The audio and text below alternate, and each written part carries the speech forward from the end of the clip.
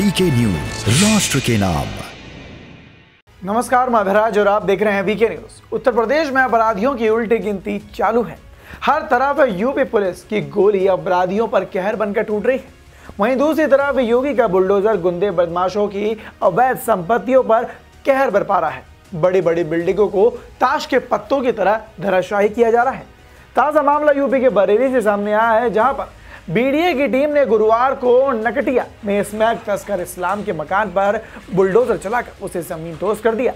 ये कार्रवाई बीडीए की टीम ने की है और कार्रवाई के दौरान कैंट और फरीदपुर पुलिस भी मौके पर मौजूद रही और भारी पुलिस बस को वहाँ पे तैनात किया गया। आपको बता दें कि फरीदपुर के गाँव बहरा के रहने वाले इस्लाम चर्चित इनामी स्मैक तस्कर तैमूर उर्फ़ भोला का साथी है।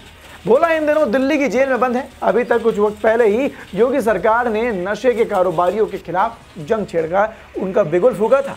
और जिसके बाद से यूपी पुलिस लगातार इन तस्करों की धरपकड़ में लगी हुई थी।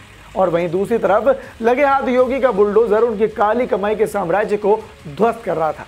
आइए, अब आपको सुनाते हैं इस मामले की जानकारी देते हुए पुलिस अधिकारी का क्या कुछ कहना है। थाना कैंट के अंतर्गत एक महिला है शाहिदा, जो पत्नी है इस्लाम की, ये रहने वाले फरीदपुर थाना क्षेत्र के अंतर्गत में।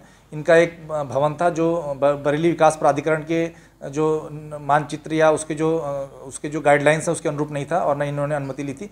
तो उसी के आधार पर बरेली विकास प्राधिकरण के द्वारा इसमें इनको जो नोटिस दिया गया था और उसकी इन्होंने उसको डिमोलिश किया है। और साथ में वहाँ पुलिस बल उपलब्ध कराया गया था जिससे कि कोई कानून व्यवस्था की समस्या ना और साथ ही साथ जो ये महिला है, इसके जो पति है, वो पूर्व में जो एनडीपीएस जो मादक तस्करों के जो पदार्थ हैं, उसमें भी ये जेल में है और उसके खिलाफ भी इसमें पूर्व में भी कार्रवाई की गई है। हालाँकि ये कोई पहला मामला नहीं है। इससे पहले भी बिल्डिंगों को, कई बिल्डिंगों को पहले ही गिरा चुके हैं। और ऐसे में इन कार्रवाइयों से ऐसा लगने लगा है कि बरेली में स्मैक तस्करों पर अब बीडीए का बुलडोजर, यानी कि योगी का बुलडोजर, भारी पड़ने वाला है। क्योंकि पिछले कुछ वक्त से बरेली में ड्रग्स के मामले लगातार सामने आ रहे थे। या फिर यूँ कहें कि बरेली इन दिनों तस्करों का अड्डा बन चुका था, उनका गढ़ बन चुका था।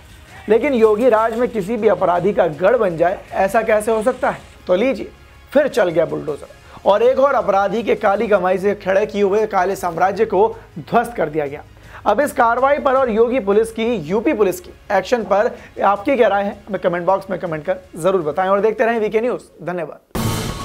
ये है ड्रीम मीडिया नेटवर्क और आप देख रहे हैं देश का पहला 24 four by seven digital news channel VK news, राष्ट्र के नाम।